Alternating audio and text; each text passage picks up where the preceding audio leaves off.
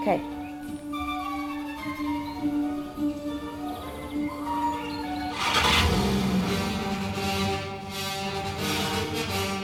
The all-new Volkswagen Passat, a new force in the midsize category.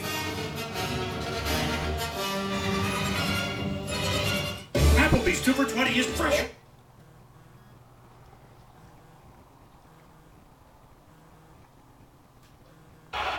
Faced has been third and five. So Arizona's done a pretty good job of getting Oregon backed up into these third and relatively long situations.